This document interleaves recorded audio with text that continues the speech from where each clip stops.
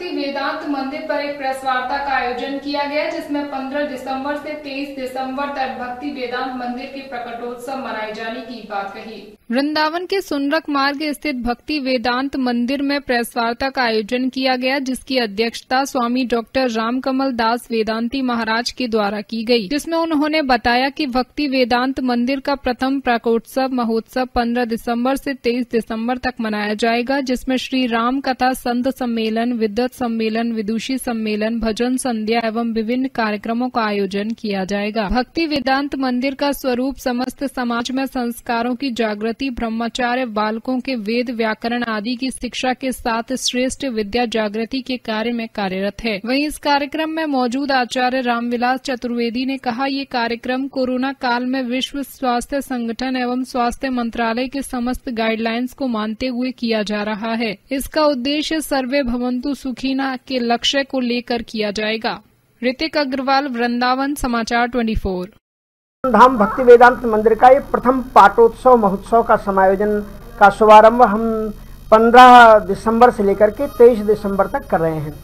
श्रीमद वृंदावन धाम की भूमि, जो राधा रानी जी की कृपा स्थली नंदनंदी वर्ष विशाल कार्यक्रम हमने किया था, इस बार कोरोना को देखते हुए हमने सीमित दायरे में इस कार्यक्रम को रखा है, लेकिन परंपरा हमारी बनी रहे।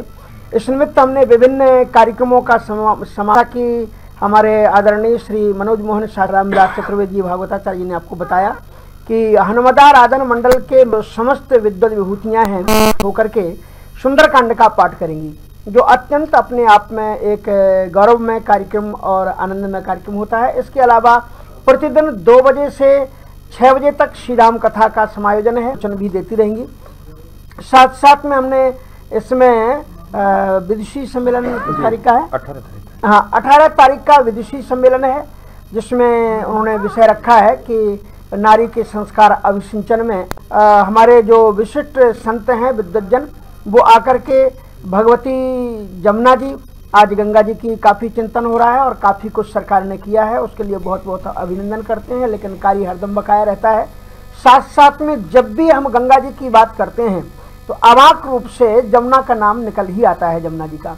इसलिए जो प्रयत्न गंगा जी के लिए किए गए हैं, वैसे ही प्रयत्न यमुना जी के लिए भी होना चाहिए, क्योंकि जब भी कोई आता है, पुष्टि मार्ग में तो विशेष रूप से जमुना महारानी जी का पूजन है, और श्री कृष्ण जी से जुड़े हुए जितने भी साधक हैं, जमुना जी के बिना तो भगवान कृष्ण की उपासना की परिकल्पना संभव नहीं है। इसलिए उनका श्रृंगार हो, उनका स्वच्छ निर्मलीकरण हो, इस संदर्भ पर हमारे संत लोग अपने विचारों का आदान प्रदान करेंगे उसमें संत सम्मेलन में।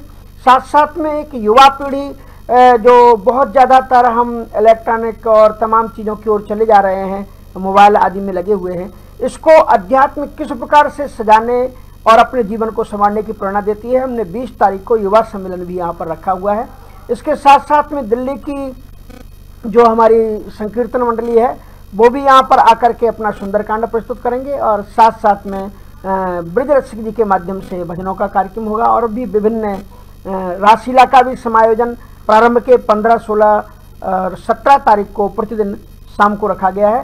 तो इन विभिन्न कार्यक्रमों में हम समस्त आप सभी को अंताकरण से आमंत्रित करते हैं। आप सभी आएँ और अपना स्थान समझते हुए यहाँ के विभिन्न कार्यक्रमों में लाभ लेकर के अपने जीवन को सार्थक करें। इन्हीं यही मेरी आग्रह और उद्भावना है।